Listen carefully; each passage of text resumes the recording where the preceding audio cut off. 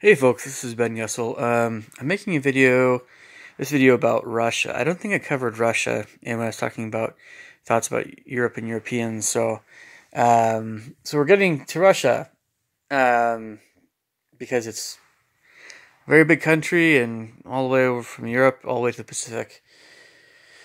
Uh, so anyway, apologize, apologies to all Russians out there.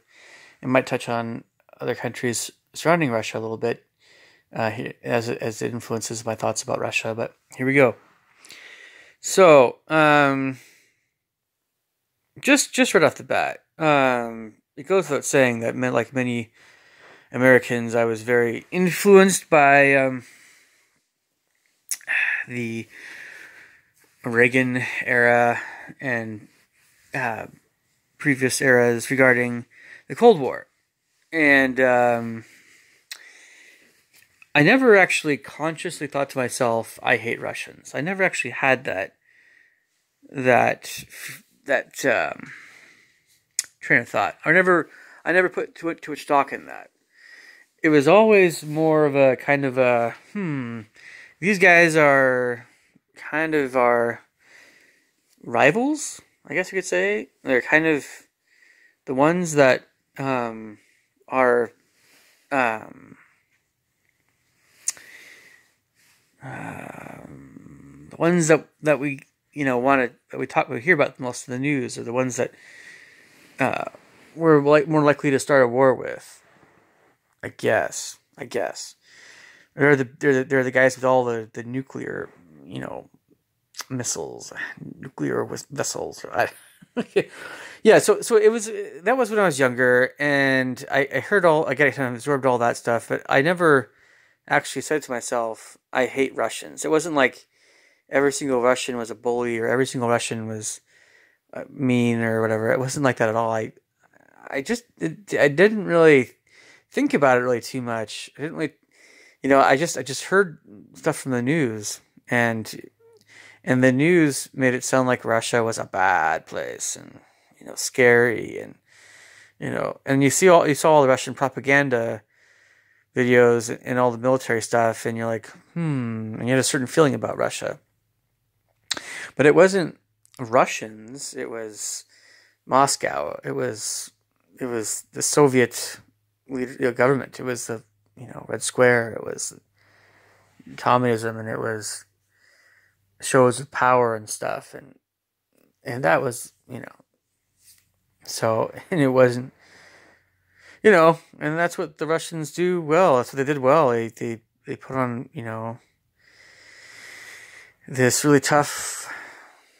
You know, we're gonna get we're gonna be tough with you guys, and they they're still kind of doing that, kind of, but it's not quite as obvious. uh, I don't know. I don't know. I don't know. It, it's like every single government of any powerful nation in the world is doing that. They're, they're kind of like these government leaders are are weird. They're different. They're different than the people. People are always much better, uh, uh, just across the board. Just across the board. I think. And by the way, this is one of the the big things that everybody does in line is they lump their government in with their people. And no, that's the people are always better. They're always better. Because people in government are corrupted by power, and so uh, most of the time, so they're going to be corrupt and people are not corrupt. Anyway, so people should be in charge. It's one of the reasons why democracy, probably one of the biggest reasons why democracy is a better, a better, but not necessarily the best form of government, in my opinion. But it is better. It's close to the best. If it's just a question of, yeah. Anyway, so Russia. Um, well, you know, it's easy. You know, so yes, it's true that communism fell and Moscow is whatever. I I I just I love Russian music. I love Russian culture. Um, I don't see that antagonistic, militaristic thing um, as being the same thing as Russian culture. Um, if you see a bunch of guys dancing, like Cossack dances or whatever, Trepak dance or whatever, that's that might seem militaristic and look how athletic we are, and you know, if you're not careful, we're gonna kick you. There's kind of, kind of that that feeling a little bit you get if you see like a funny movie like if um, the man who too the man who knew too uh, little or something like that. It was with Bill Murray, and he goes over to Russia, and it's a really fun movie. But you know, you get that impression when you're seeing these performers that uh, you know they're they're performing uh, like entertainment, right? But there's kind of is always that thing about Russia where you're wondering, are they gonna pull a crazy Ivan on me, and they're gonna start you know kicking my face? you know, yeah. But, but you know, it's it's funny. I think you know there's there's a humor to it. Um, I think Russians do like to. How can I put this?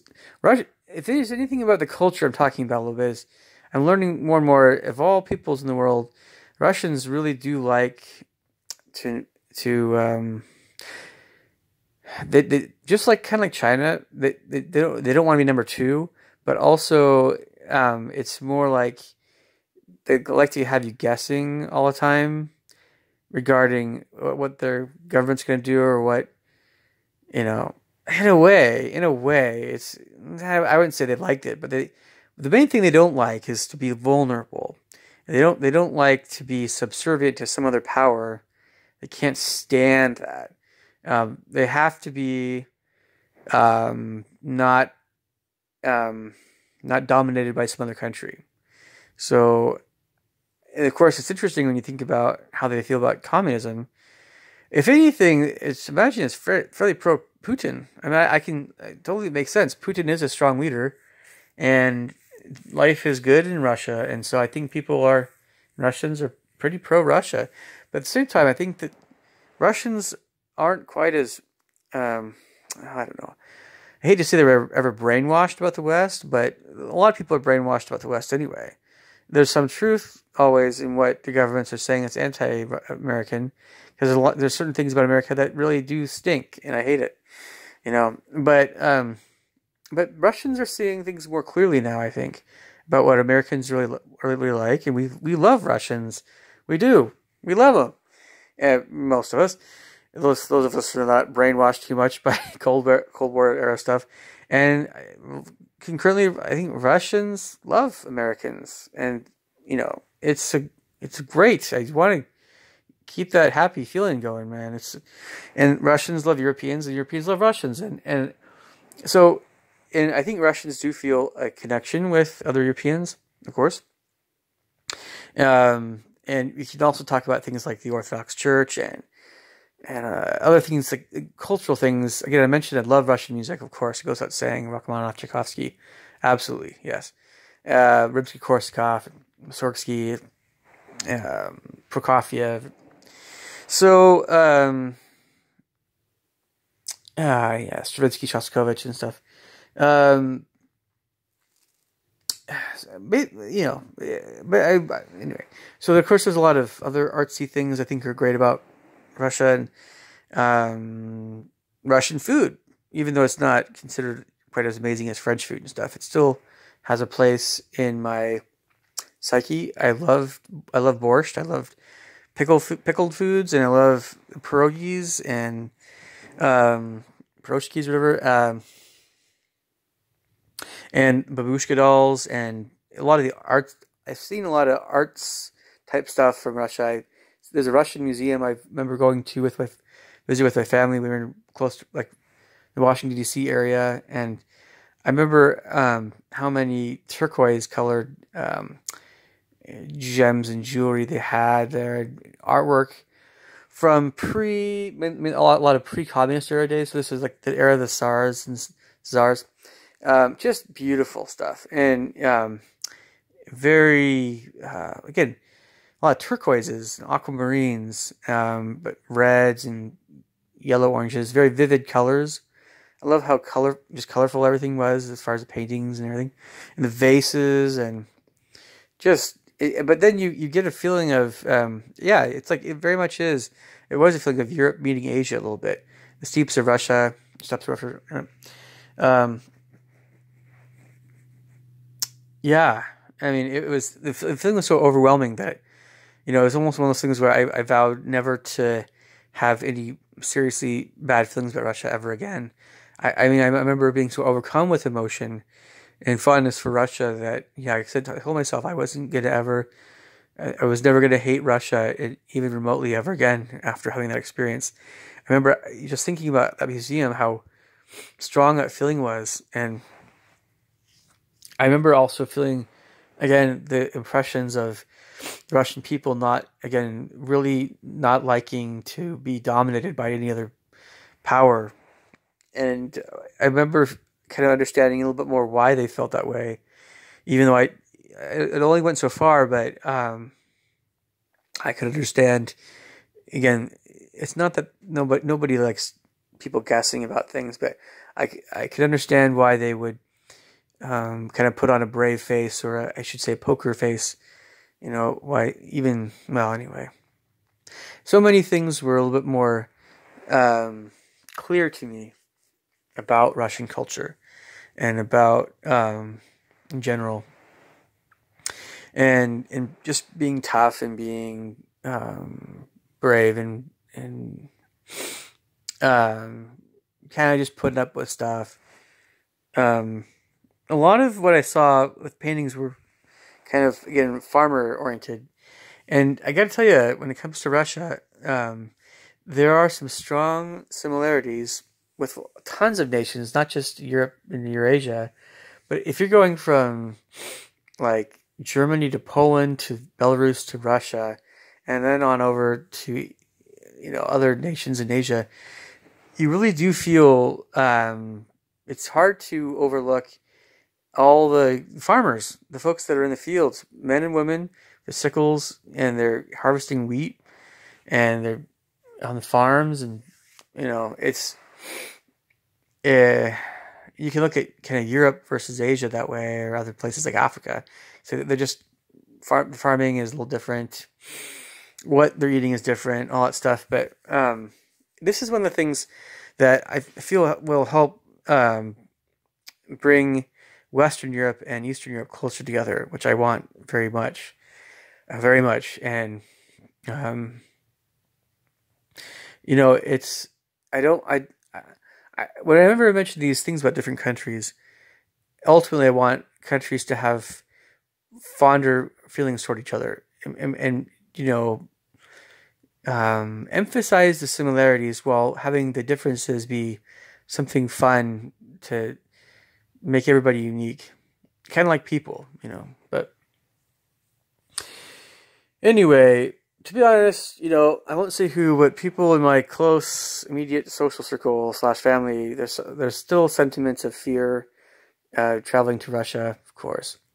Um, a lot of Russians are still not happy with Americans. Some it's a question of where I guess you're talking about, but not only it's not necessarily just anti-American stuff or anti and and you know that kind of you guys think you're the best and everything. It's not just that. In Russia, though, I, I do believe that um, kind of this is Europe, but more in the past. But in some areas of Europe, yes, this is still kind of the case. I imagine it gets as you get as you go farther east in Europe, not just starting in Germany, but not necessarily just Germany. It could be other areas in Western Europe. But if you go from Germany eastward, and also a little bit, there's kind of a similar vibe, at least in Finland, in the Baltic states. But it's generally eastward, uh, and then it gets really strong in Russia.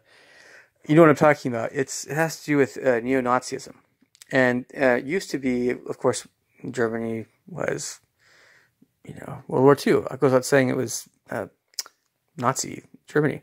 Um, but then after World War II, um, when you know we know a lot of folks that were Nazi official, you know, officers and things. A lot of folks went to Argentina, but um, in Europe was kind of after a while, you know, looking at what you know all this stuff that happened, and guess who started to really going again in similar trains of thought and with organizations there's organizations. There's always been the, the KKK in the United States and the Aryan nations and stuff. But yeah, I mean, like you started having neo-Nazi groups forming. Um, oh, it, they were in small numbers, I imagine in the seventies and eighties, but very small numbers. But yeah, they got they got bigger and bigger, and the immigrant issue is really driving those numbers up farther and farther.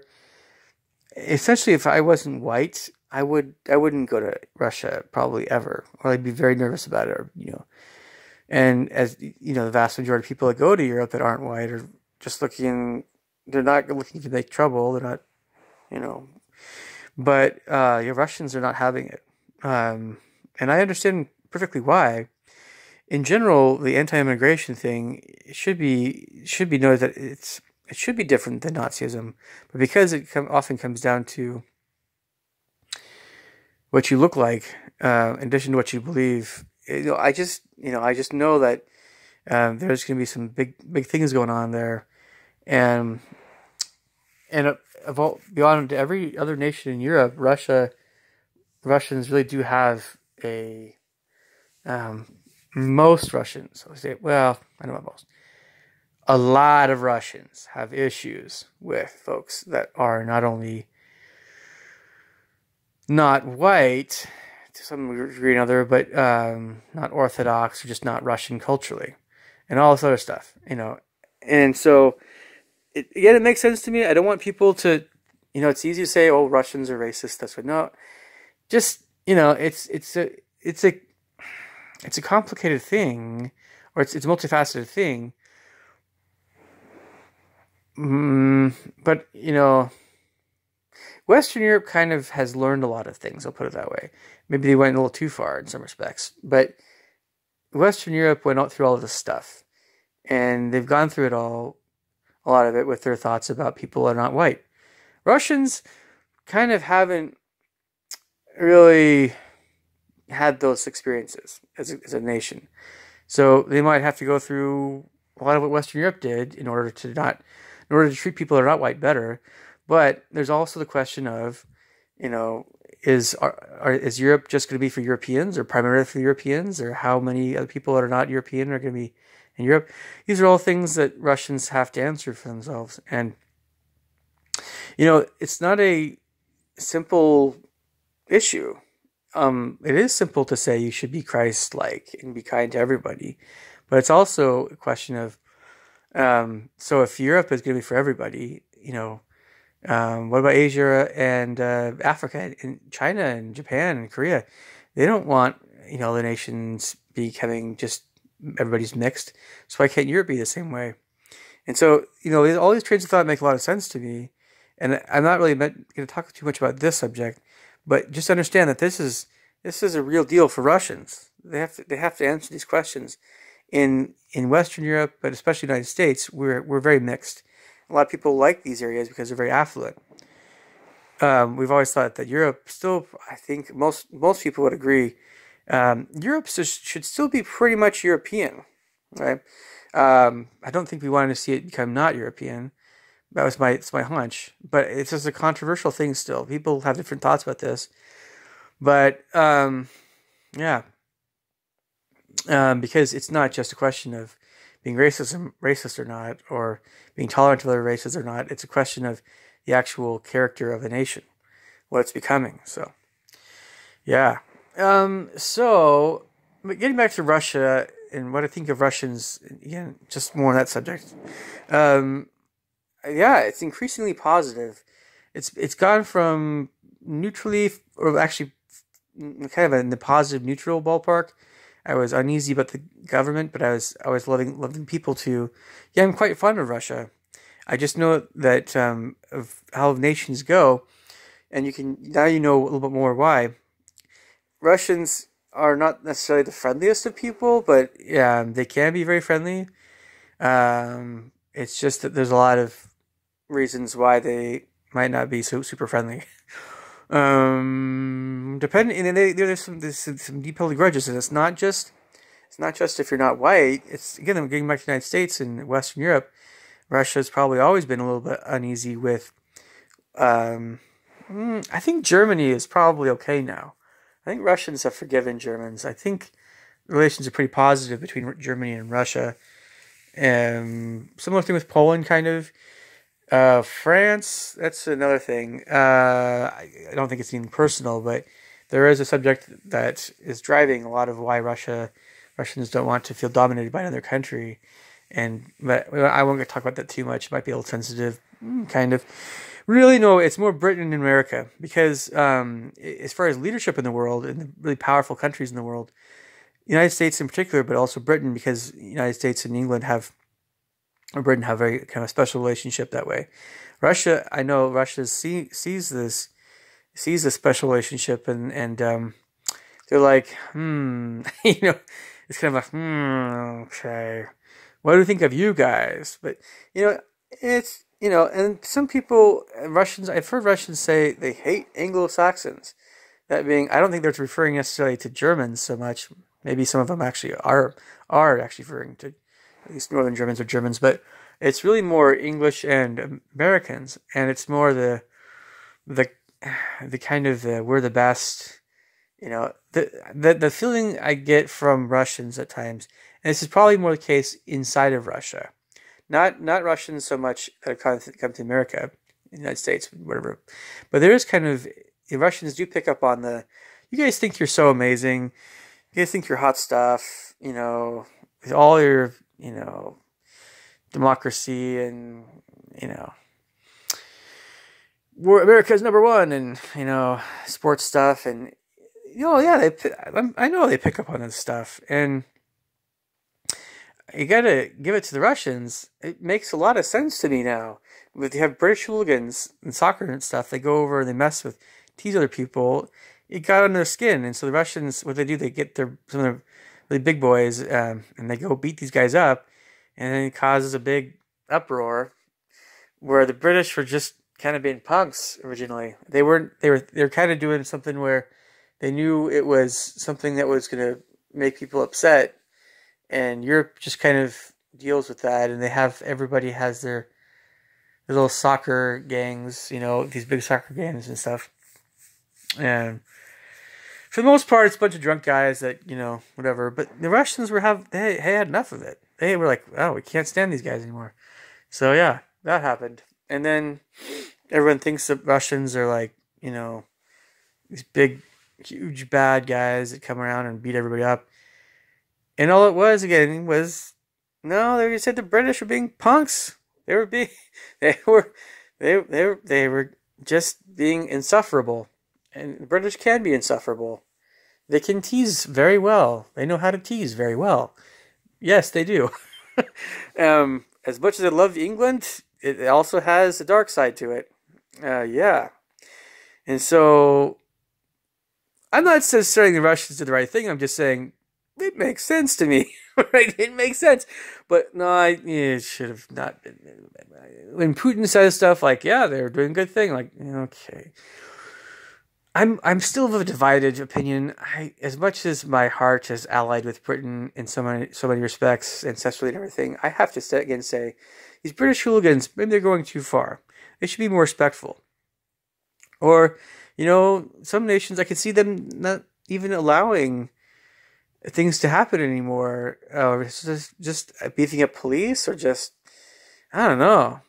Um, might be one of the again one, many things leading to a world war. I don't know. I doubt that would be the case. I think that would be more, again, a well, I don't know, Armageddon thing with Israel and Arab nations plus Russia plus China, and I, I can't see it going differently. But goading and teasing can certainly um, get really nasty really quick.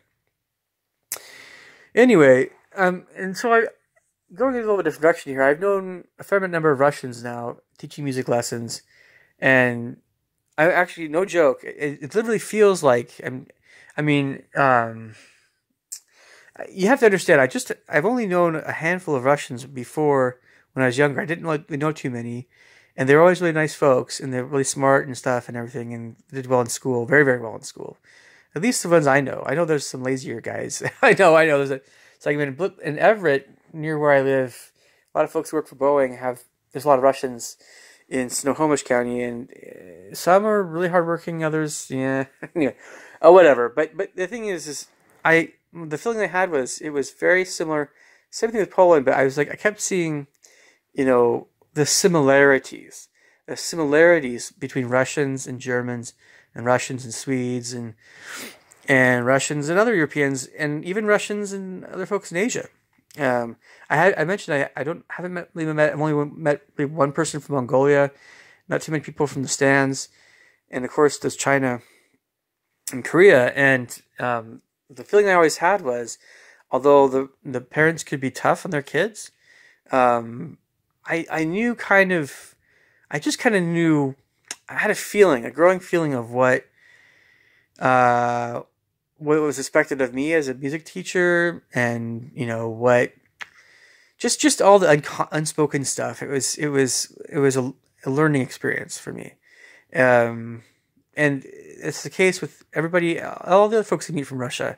So again if if i ever meet someone from russia and, and they have some not so nice things to say about the united states or they're just upset about something or whatever whatever it is i'll hear him out i've learned i'll hear him out and and it should be a friendlier thing.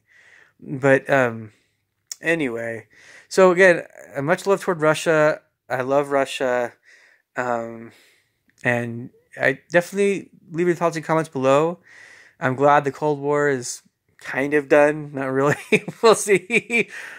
I know everybody's looking at China now, and everybody's still wondering if Putin's gonna, whatever, want a little bit more a little more, a little more the Ukraine, but it's really just you know, it's not something that occupies my thoughts very much. Um, I think Putin is mainly interested in having Russia be stronger um, economically, and um, yeah, I want to I want to believe the best at least about Putin. A lot of people say in the United States like Putin even more than Trump. I I, that's a very common thing. It's not necessarily a white supremacist thing, although I, I get that sometimes, the whole Trump Putin thing. But um, but to me, it, it it's one of those things that can help people just be like, you know, we're not all that different, you know. And I simply, though, at some point, I want Afro Americans and everybody else to feel more welcome in the presence of Russians and stuff. It's not again. I don't think it's that. It's more especially Russians of the United States. I don't think that. I don't know. I just know that you want to have everybody be more comfortable in everybody else's presence ultimately. Anyway, um, I'm gonna head out here. Um, leave, leave your thoughts and comments, comments below. And again, I love Russia. Um, talk to you guys soon. Take care. Mm, bye.